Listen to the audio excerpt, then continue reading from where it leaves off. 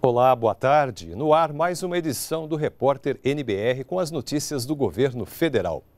Mais de 300 ambulâncias vão reforçar o atendimento do SAMU em todo o país. O presidente Michel Temer entregou os veículos durante cerimônia em Esteio, no Rio Grande do Sul. São 340 ambulâncias para a renovação da frota do SAMU em 19 estados. 60% dos veículos são novos. Para o Rio Grande do Sul, são 61 ambulâncias para 61 municípios, incluindo a capital, Porto Alegre, e a cidade de Esteio, na região metropolitana, onde o presidente Michel Temer fez as entregas. Claro que um veículo novo, ele acaba, em primeiro lugar, dando melhores condições de trabalho para os profissionais que atuam diretamente no SAMU, mas também para o usuário, ele acaba por qualificar por ter uma estrutura melhor, com equipamentos mais modernos, mais novos. O investimento do Ministério da Saúde é de mais de 67 milhões e meio de reais. O critério para a troca de veículos é o tempo de uso. Estão sendo trocadas ambulâncias que circularam sem renovação por um período de até cinco anos. O SAMU funciona 24 horas e 7 dias por semana. Algumas vezes, quando são acionadas pelo número 192, as equipes socorrem pessoas que sofreram acidentes em vias públicas e estão entre a vida e a morte. É por isso que rapidez e precisão fazem parte da rotina do SAMU. As equipes são formadas por médicos, enfermeiros e auxiliares de enfermagem. Os atendimentos de urgência e emergência reduzem danos, além de casos clínicos, traumáticos e cirúrgicos. Grávidas em trabalho de parto também são atendidas. O SAMU ele está é, nos custando um bilhão de reais por ano de investimento para sua manutenção da parte do governo federal. São contemplados 2.600 municípios, cada SAMU tem uma área de abrangência de vários municípios nessa renovação.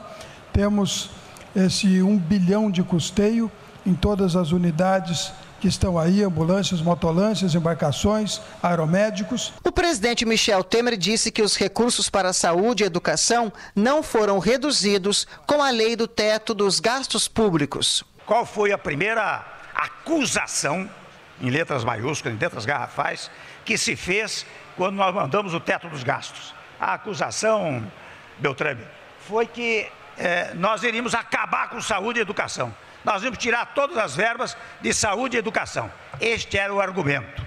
Pois contra o argumento, eu apresento um documento. E o documento que eu apresento é o orçamento que nós preparamos para o ano que vem.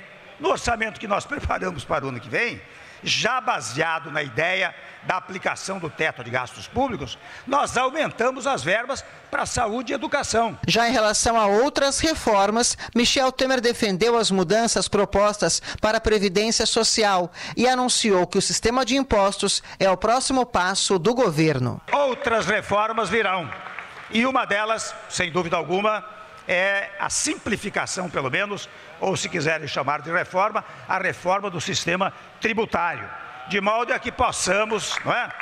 De modo a que possamos atingir aquele postulado que o que o governador Sartori mencionava, que é uma revisão do Pacto Federativo, de uma maneira que a todo momento Estado e município não tenham que comparecer na União de pires na mão, não é?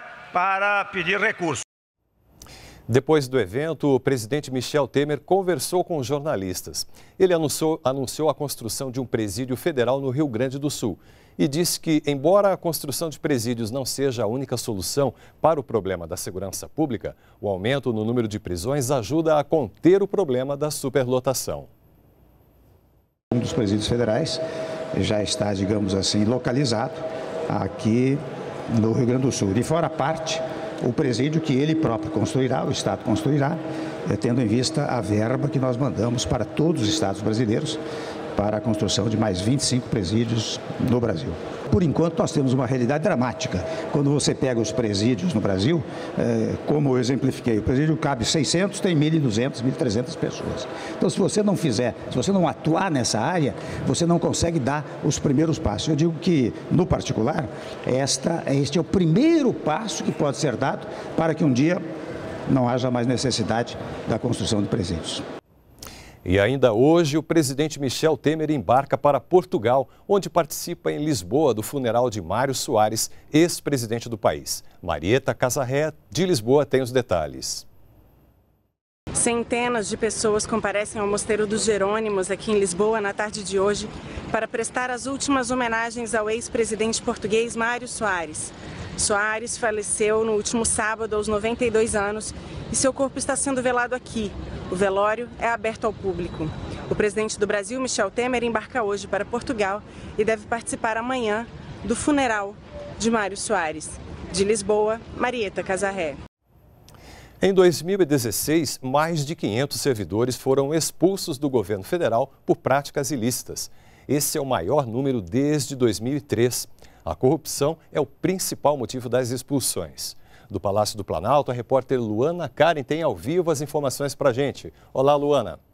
Olá, Roberto. No total, foram 550 servidores expulsos, entre demissões de servidores efetivos, cassações de aposentadorias e destituições de ocupantes de cargos em comissão. O principal motivo, como você disse, foi a corrupção, com mais de 65% dos casos de expulsão. Em seguida, vem o abandono do trabalho, o excesso de faltas e o acúmulo ilegal de cargos. O servidor expulso fica proibido de concorrer a um cargo público por oito anos e, dependendo do tipo de infração cometida, pode nunca mais retornar ao serviço público. Desde 2003, o governo federal já expulsou mais de 6.200 servidores. O relatório com as punições é publicado mês a mês na página do Ministério da Transparência. Roberto. Obrigado, Luana, pelas informações. A Caixa Econômica Federal está elaborando as regras para a utilização do FGTS como garantia em operações de crédito consignado. A medida deve contribuir para a queda da taxa de juros. E ao vivo, de São Paulo, o repórter José Luiz tem mais informações para a gente. Olá, José Luiz. Olá, Roberto. Boa tarde mais uma vez. O uso de recursos do FGTS como garantia em operações de crédito consignado foi aprovado pelo Senado em julho do ano passado por unanimidade. A medida prevê que os trabalhadores poderão usar até 10% dos saldos das contas e toda a multa de 40% em caso de demissão sem justa causa para quitar os empréstimos consignados que tiverem.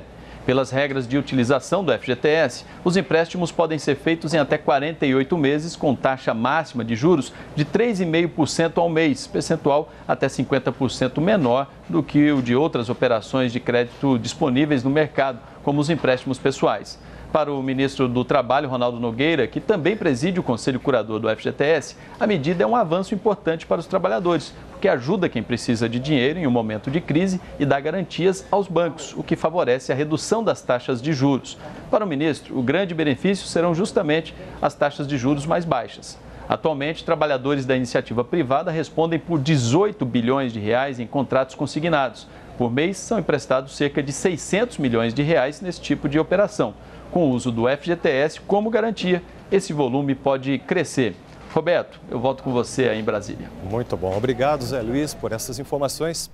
Nós vamos ficando por aqui, mas podemos voltar a qualquer momento com mais informações ou então às seis da tarde na próxima edição do Repórter NBR. Uma boa tarde para você. Continue com a gente na NBR, a TV do Governo Federal.